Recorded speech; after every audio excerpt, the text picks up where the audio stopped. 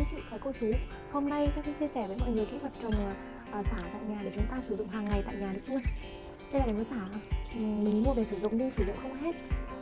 Để ươm được thành công xả sử dụng tại nhà thì đầu tiên chúng ta phải bóc bớt đi cái lớp uh, vỏ của vỏ bên ngoài của xả. Bóc bớt bên trong một sẽ ờ, lộ ra những cái mầm xả này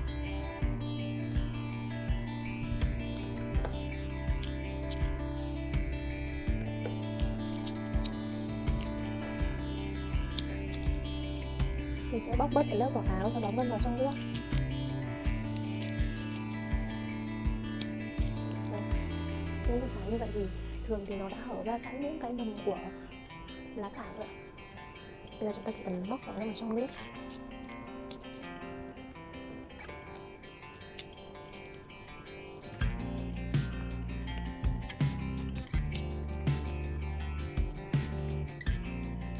Chúng ta sẽ sử dụng những củ xả to già rồi. Còn những củ xả non thì khả năng nảy mầm bám bám rễ của nó rất là kém.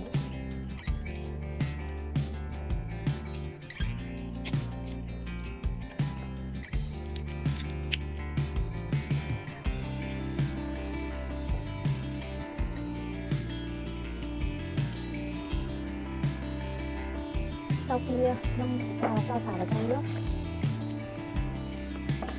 ngâm thời gian trong vòng khoảng 10 phút, xả đã hút đủ nước đủ ẩm, thì chúng ta sẽ đổ nước đi.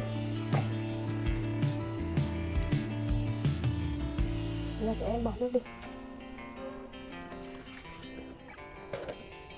Và trước khi mang đi dâm xuống đất để đảm bảo quá trình nảy mầm bám rễ tốt hơn, thì mình sẽ ủ nảy mầm trước. Chúng ta sẽ kiếm, để xả đá bóc ngâm vào trong một tô.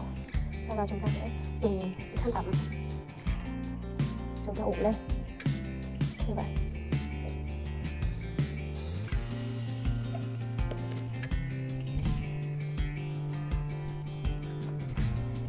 Hai ngày trước thì mình có đã hướng dẫn các bạn cách để chúng ta ủ nó lên mầm cho cây xả. Quá trình trồng thì nó sẽ uh, tỷ lệ mọc mầm sẽ cao hơn. Thì hôm nay sau hai ngày thì mình kiểm tra. Thì uh, toàn bộ cây xả đã lên rễ rất là tốt rồi. Hai ba ngày thì nó lên rễ tốt và nó bám xuyên được qua thẳng cái tấm vải của mình.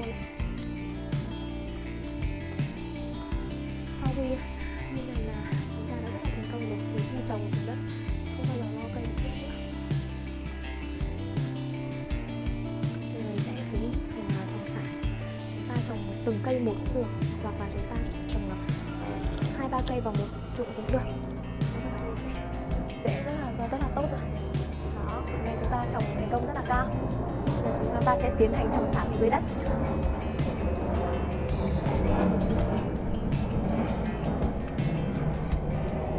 Những cây nào bé thì chúng ta có thể trồng hai, ba cây vào một lớp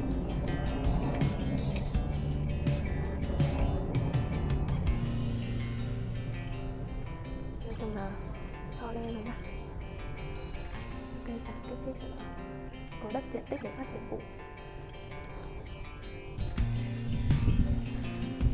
Trồng thì chúng ta cho chìm xuống đất khoảng 5 cm cây có diện tích là phát triển. Đó là chúng ta sẽ tưới nước.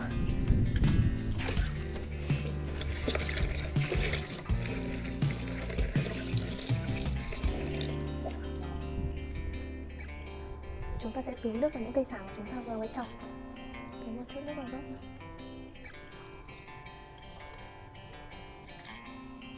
trong xả này thì một tuần chúng ta tưới nước một lần.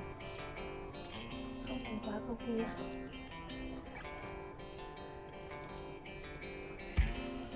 Chúc các bạn thành công.